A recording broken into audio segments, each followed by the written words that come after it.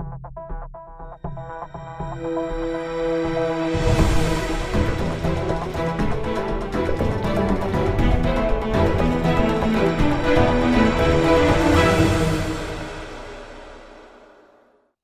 chào quý vị khán giả đến với chương trình tin nóng 24 giờ được phát sóng trên kênh Đồng Nai 1 Đài Phát thanh Truyền hình Đồng Nai vào lúc 19 giờ 45 đến 20 giờ hàng ngày. Yến Nhung và Thanh Lâm rất vui khi được chia sẻ thông tin cùng quý vị khán giả trong chương trình ngày hôm nay. Tin nóng 24 giờ thứ tư ngày 22 tháng 5 2024. Chương trình hôm nay sẽ có các thông tin nổi bật sau đây.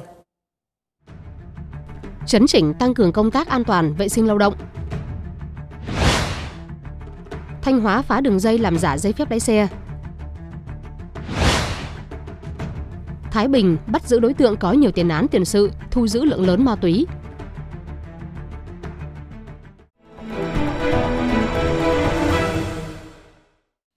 Thủ tướng Chính phủ Phạm Minh Chính vừa ký công điện yêu cầu các bộ ngành địa phương chấn chỉnh tăng cường công tác an toàn vệ sinh lao động.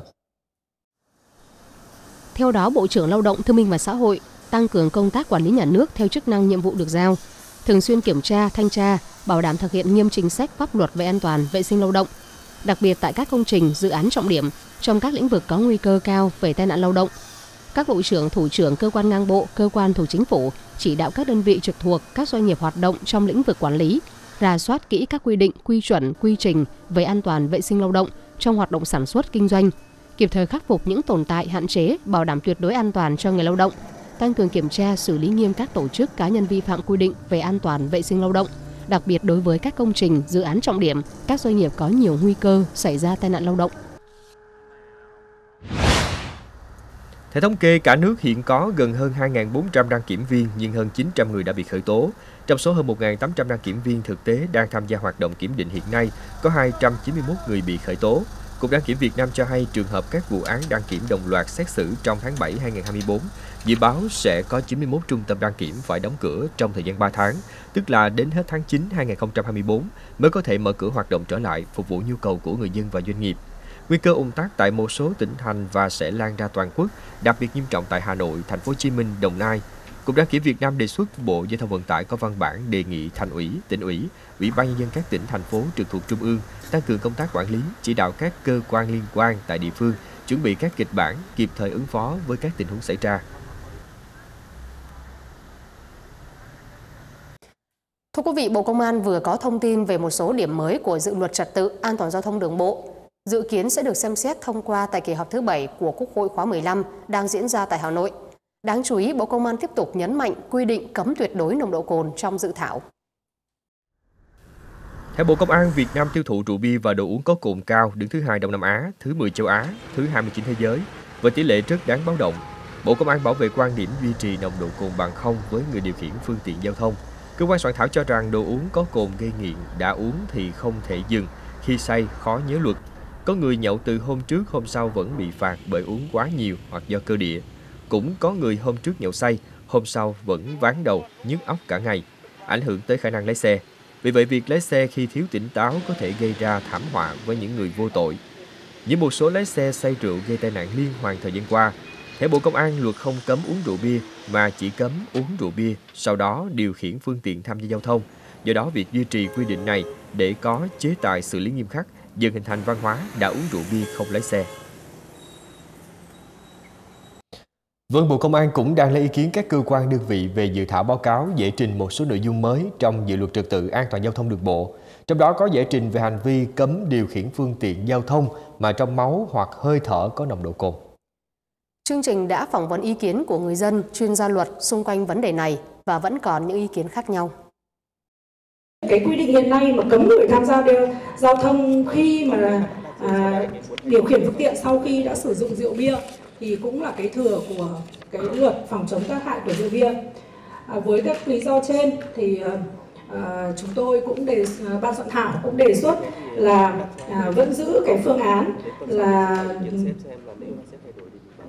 cấm người uh, sử dụng cấm người điều khiển phương tiện sau khi đã sử dụng rượu bia. Có một tí chút, một tí xíu thôi thì nó cũng không đến lỗi mà để để để nó gây cái ảnh hưởng an toàn giao thông luật còn nếu mà cấm tuyệt đối ấy, thì thực sự ra thì cũng không lên theo nó do cái ngưỡng ở cái mức kể cả việc quy định bằng không hay là quy định không bằng không thì cái đấy nó cũng phải có cái căn cứ khoa học và đảm bảo thực hiện lâu dài. Bởi vì rõ ràng là cái việc kiềm chế tai nạn giao thông rồi hạn chế những cái ảnh hưởng tiêu cực của tai nạn giao thông thì đây cũng là một giải pháp tốt. Nhưng tôi nghĩ rằng là cũng cần phải có căn cứ khoa học và có tính căn cơ lâu dài để chúng ta tránh cái trường hợp mà xử lý là một cách vội vàng và nó thiếu cái, cái luận điểm khoa học. Quan điểm của tôi đã coi tham gia giao thông là nhất quán là không có dùng coi là tí rượu tí bia là phải về bằng gọi số không thì mới đảm bảo được an toàn chất lượng của mình được. Không cồn ấy thì mình thấy là ra là hơi gắt. Thật ra là vì thật ra là ví dụ như có những trường hợp ví dụ như ông lái xe tôi chạy là thật sự hay ngồi ngồi nhiều và chân tay tê ấy, thì bọn tôi thường, thường là cũng hay có thể là uống những cái loại thuốc mà ngâm với một chút rượu chứ đó thì có nồng độ cồn nó có thể là ví dụ như là nó khoảng 0,002 hoặc là 0,2 đó thì mình nên có một mức định lượng ví dụ như là dành cho những cái dạng mà nó có cồn nhưng có cồn nhẹ nhưng mà là để thuốc chữa bệnh. Ở đây chúng ta đầu tiên là gì? Ngay phương tiện chúng ta đang phân phân định được ra. Phương tiện để kinh doanh là biển vàng. Thì tôi cho rằng đây là một hướng mà những cái xe mà đang tham gia kinh doanh thì phải chịu cái chế tài mức nồng độ cồn về không. Còn đối với những cái xe mà đang là xe gia đình và cái bằng B1, B2 nó bình thường thì lúc này xem xét về vấn đề có thể đặt một cái ngưỡng nào đó phù hợp với thể trạng của người Việt Nam vừa đảm bảo về mặt sức khỏe phù hợp với luật phòng chống tác hại bia rượu đã có trước đó cũng như phù hợp với thực tế và luật an toàn giao thông mà chúng ta đang sử dụng. Hôm qua, một vụ tai nạn giao thông khá nghiêm trọng xảy ra trên đường DT741 đoạn qua ấp 9, xã Tân Lập, huyện Đồng Phú, tỉnh Bình Phước, giữa xe tải và xe máy khiến một người bị thương nặng. Theo thông tin ban đầu, khoảng 13 giờ 30 phút chiều qua, Nguyễn Ngọc Trường, 26 tuổi, ngụ xã Tân Lập, điều khiển xe máy biển số 93M1 35484 lưu thông trên đường DT741 hướng từ tỉnh Bình Dương đi huyện Đồng Phú. Đến ngã ba giao nhau với đường vào cổng trường cấp 2 Tân Lập thuộc ấp 9 xã Tân Lập, bất ngờ tông thẳng vào hông xe tải biển số 93C 01663 do Nguyễn Văn Huy, 36 tuổi, ngụ xã Tân Lập điều khiển, lưu thông từ trong đường nhánh bên phía tay phải xe máy băng qua đường DT741. Cú tông mạnh khiến Trường và xe máy bị ngã văng rồi ngược trở lại. Năm thanh niên nằm bất động được đưa đi cấp cứu trong tình trạng bị thương nặng. Chiếc xe máy hư hỏng nặng. Nguyên nhân vụ tai nạn đang được cơ quan công an điều tra làm rõ.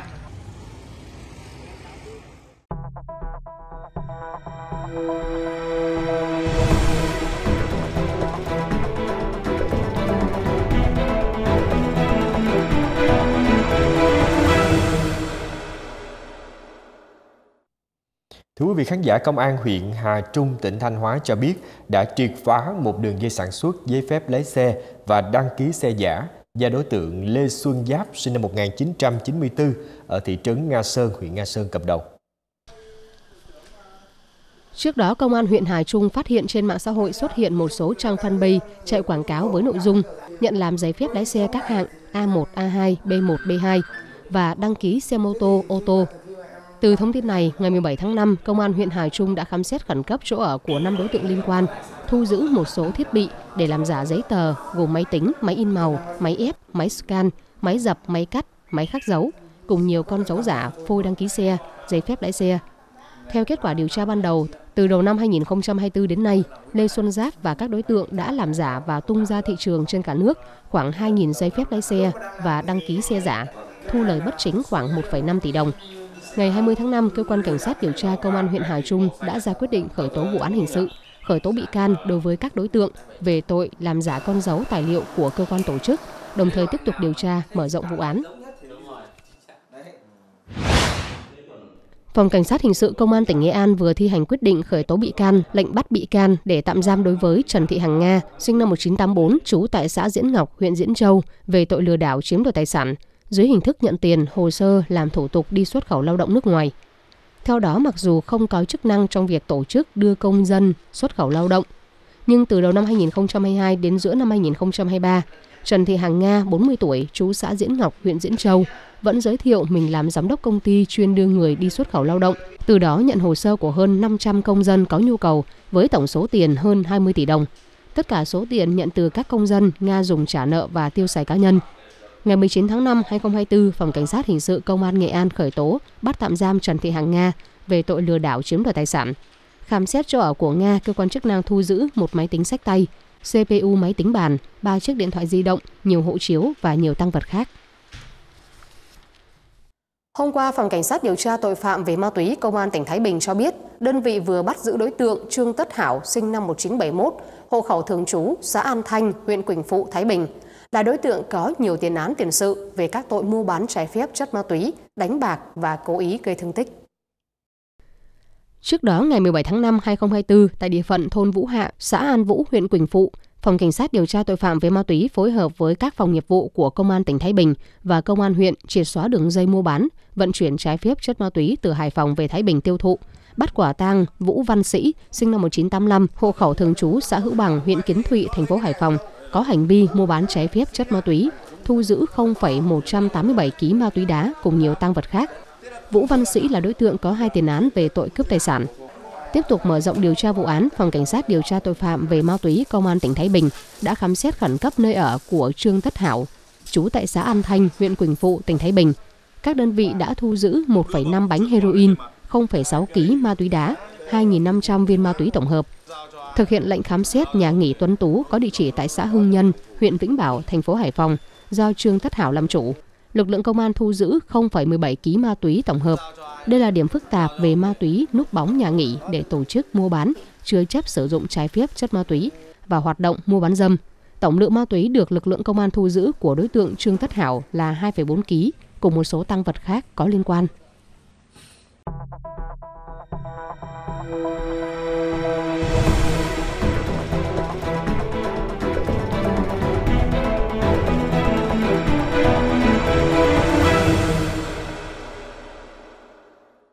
Chương trình sẽ tiếp tục với các thông tin đáng chú ý trên lĩnh vực khác. Chỉ còn hơn một tháng nữa, Hà Nội sẽ chính thức có thêm một tuyến đường sắt đô thị đi vào hoạt động, giúp người dân đi lại thuận lợi. Tuyến đường sắt đô thị nhổn ga Hà Nội dài 12,5 km, gồm 8 ga trên cao và 4 ga ngầm, với tổng mức đầu tư hơn 34.000 tỷ đồng. Trong đó đoạn trên cao dài 8,5 km từ nhổn đến cầu giấy, dự kiến sẽ được đưa vào vận hành từ đầu tháng 7 2024. Dự án đường sắt nhổn ga Hà Nội đã đạt tiến độ tổng thể 78,52% giá trị hợp đồng, tăng hơn 1% so với tháng trước. Thưa quý vị khán giả, lễ hội bánh mì lần thứ hai năm 2024 diễn ra tại thành phố Hồ Chí Minh là sự kiện văn hóa ẩm thực độc đáo, thu hút đông đảo người dân và du khách đến thưởng thức một trong những món ăn ấn tượng của Việt Nam, được vinh danh trong top món ăn đường phố ngon nhất thế giới. Một trong những điều ấn tượng tại lễ hội năm nay là sự xuất hiện của Vinamilk, không chỉ với không gian trưng bày mang đậm ký ức tuổi thơ đẹp đẽ, mà còn với hương vị đặc trưng của sữa ông thọ, sản phẩm sữa đạt truyền thống đã gắn bó với hàng triệu gia đình Việt từ 50 năm qua. Góc phố ẩm thực với hẻm ông thọ, đường tuổi thơ là địa điểm dừng chân thú vị đầy cảm xúc với nhiều khách tham quan khi ghé thăm gian hàng của Vinamilk tại lễ hội bánh mì lần thứ hai. Vừa được trở lại khung trời kỷ niệm, vừa được thưởng thức những món ăn, thức uống quốc dân đi cùng năm tháng. Với nhiều người Việt, món bánh mì chấm sữa không đơn giản chỉ là một món ăn, mà nó còn là ký ức đẹp của những năm tháng tuổi thơ êm đềm. Trên 40 rồi, giờ quay lại cái gian hàng như vậy thì rất là xúc động. Thật ra thì hồi trước tuổi thơ của mình thì để được ăn bánh mì mà chấm với sữa ông thọ đây là một điều rất là phải nói là nếu mình đúng là là, là cái món ăn là tuổi thơ. Mình thấy là cái cái cái mà việc mà bố trí như vậy thì nó rất là gần gũi.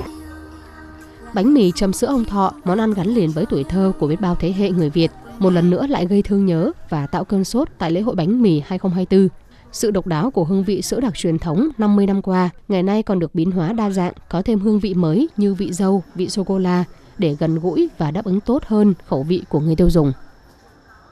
Từ lúc bé giờ là mình rất là thích ăn bánh mì nhá. Buổi sáng nào ba đưa đi học là cũng chỉ chọn bánh mì thôi. Hôm nay mình đến đây mình thử hai cái hương vị mới sô-cô-la và uh, dâu thì mình thấy vẫn ngon như ngày xưa mà có thể là ngon hơn. Nhãn hàng Vinamilk lần đầu tiên tham gia với chúng tôi nhưng mà đưa cái sản phẩm dòng sản phẩm sữa ông thọ đó là gần như là món ăn truyền thống của người Việt uh, từ đã từ lâu rồi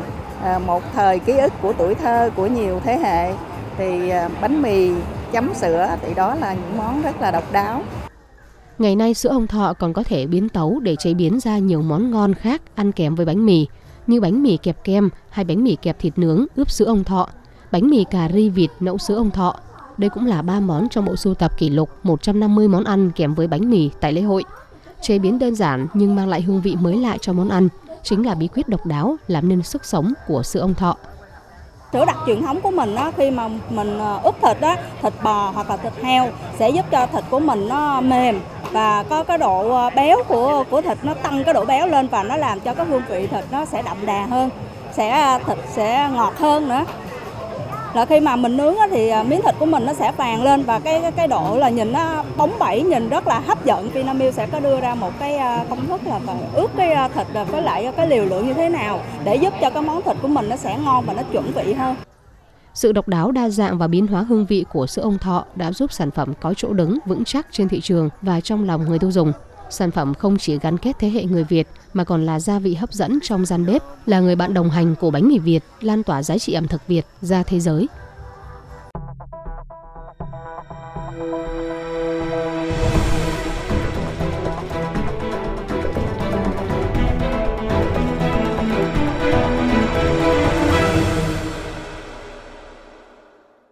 Tiếp tục chương trình là những hình ảnh đáng chú ý được cộng đồng mạng quan tâm trong 24 giờ qua.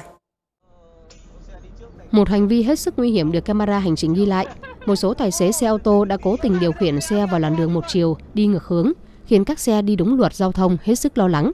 Nhiều ý kiến cho rằng cơ quan chức năng cần phạt thật nặng hành vi của những tài xế này để răn đe.